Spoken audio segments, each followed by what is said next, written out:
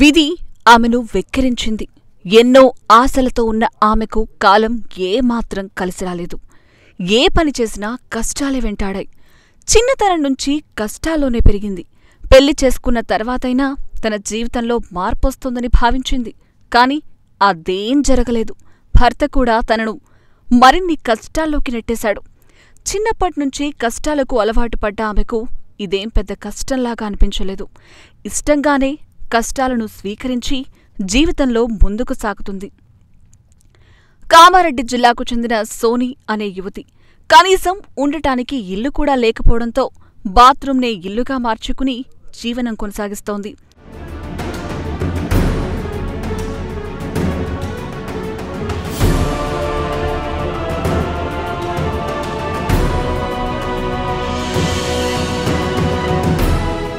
Sony స్వస్థలం కామారెడ్డి జిల్లా మాచారెడ్డి మండలం ఫరీద్పేట్ గ్రామం. ఎల్లయ్య ఎల్లవ్వకు ఒక కుమారుడు కుమార్తె సోని. చిన్నతనంలోనే సోనిని కష్టాలు చుట్టుముట్టాయి.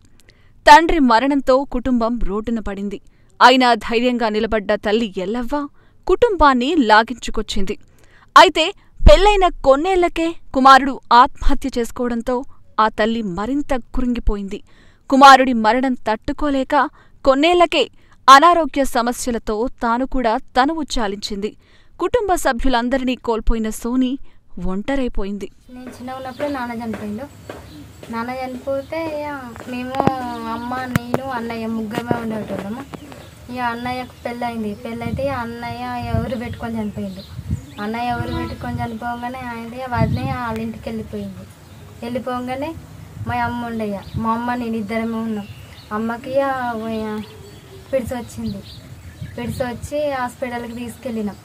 ఇక బతకలేరు. చనిపోయింది ఆమె మూడు సంవత్సరాలు అవుతుంది చనిపోతే నేను చిన్నమ్మ వాళ్ళ ఇళ్ళల్లోనే ఉన్నా ఇన్ని రోజులు. కుటుంబ సభ్యులను కోల్పోయిన సోని కొన్ని రోజులకు గ్రామస్తుల సహకారంతో వాడి గ్రామానికి చెందిన ఓ వ్యక్తిని వివాహం చేసుకుంది. అయితే ఆ కాపురం ఎన్నో రోజులు నిలబడలేదు. పెళ్ళైన తర్వాత కట్నం కోసం వేధించడం మొదలుపెట్టాడు. దీంతో విసిగిపోయిన సోని స్వగ్రామానికి తిరిగొచ్చింది. పెళ్ళి చేసి ఇచ్చారు వాడికి.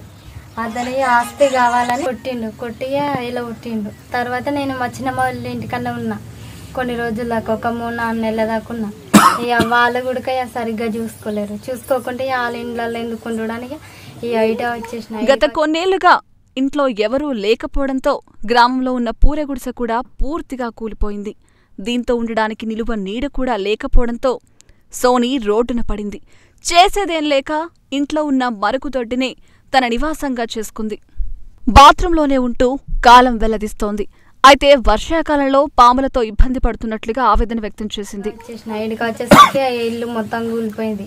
కూలిపోతాయి బాత్రూమ్ ఉంది అని ఇంట్లోనే ఇక ఇంట్లో ఉంటే పాములు అవి ఇవి వేస్తే ఉడిక ఇంట్లో వండుకొని వేరే వాళ్ళ ఇంటికాడ పడుకుంటా. పడుకున్న తర్వాత ఇక పొద్దున్న మళ్ళీ ఇక లేచి బీడీలు అవి చూసుకుంటే ఇక పెద్దలు జర దయచేసి ఆదుకోవాలని కోరుకుంటున్నాను దాతలు ముందుకొచ్చి సోనిని ఆదుకోవాలని గ్రామస్తులు వేడుకుంటున్నారు. గ్రామ పంచాయతీ నుంచి కూడా పూర్తి సహకారం అందిస్తున్నట్లు తెలిపారు. దాతలు స్పందించి సోనికి ఓ ఇల్లు నిర్మించి ఇస్తే బాగుంటుందని కోరుకుంటున్నారు. ఉండలేకపోయి ఉన్నది గుడిసె ఆ గుడిసె కూలిపోయింది. గుడిసె కూలిపోతే కూడా మాకు గ్రామ పంచాయతీ ఖర్చు చెప్తే మేము అంత సాగు చూపించినాం.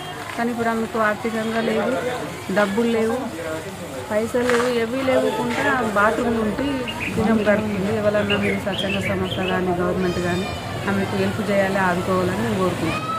కష్టాల్లో మగ్గుతున్న సోనీకి ఇప్పుడొక ఆపన్న హస్తం అవసరం ఉంది ఎన్నికల్లో ఎన్నో హామీలు గుప్పించే ప్రజా ప్రతినిధులు సోనిని ఆదుకుంటే బాగుంటుందని పలువురు అభిప్రాయపడుతున్నారు. దైవం మనిషి రూపంలోనే వస్తుందని చెబుతూ ఉంటారు.